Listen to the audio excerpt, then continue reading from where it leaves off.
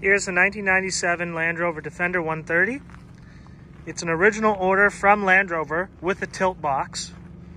A very rare model as it's a special order with the two-door regular cab.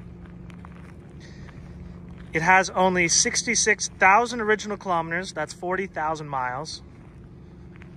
It's never seen rain in its life. Absolutely no rust.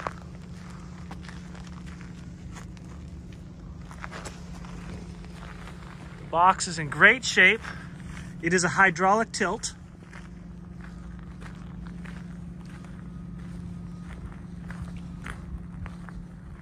Mechanically, we went through with a fine tooth comb and spent $10,000 making sure that everything is like new again.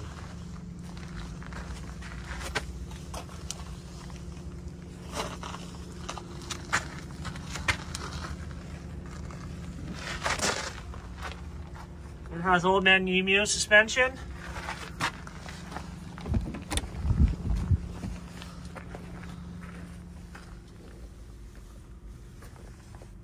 Simple interior.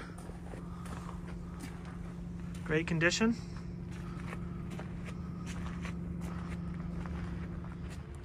The motor literally looks new, but again, this is all original.